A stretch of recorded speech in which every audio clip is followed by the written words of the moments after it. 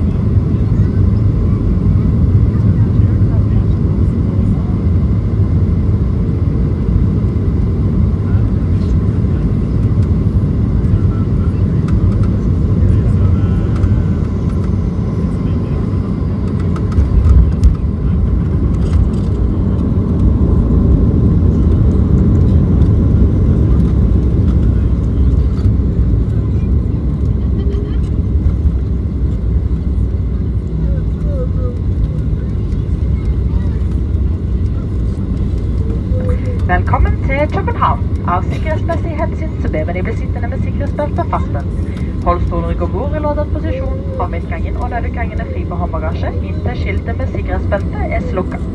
Vi ber deg åpne bagasjen forsiktig slik at ingen bagasje faller ut. Og før du forlater flyet, så ber vi deg ta en siste sjekk, sånn at du ikke glemmer igjen noe om bord. Røyking er først tillatt i oppmerkere i Komodo. Mine kolleger og jeg vil takke så mye for at du flyr med oss, Søster Starlight, men så fant jeg se deg om bord igjen snart. Vi ønsker deg en fin dag videre. Welcome to Copenhagen. For safety reasons, please remain seated with your seatbelt fastened. Keep seat back and table upright. In the island, the emergency exit free of cab baggage until the fast seatbelt sign has been switched off. Please be careful when opening overhead compartments to prevent baggage from falling out. And before leaving the aircraft, please check you haven't forgotten anything on board. Smoking is only permitted in designated smoking areas. My colleagues and I would like to thank you flying SS Starlines. We look forward to seeing you on board again soon. Thank you and have a great day.